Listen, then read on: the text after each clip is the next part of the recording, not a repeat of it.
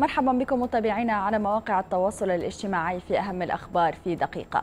في أخبارنا السياسية مقتل 40 فردا من قوات النظام والميليشيات الإيرانية وجرح 60 آخرين خلال تعرض مواقع عسكرية تابعة للنظام السوري في ريفي حماة وحلب لقصف صاروخي ولم تتبنى أي جهة الهجوم.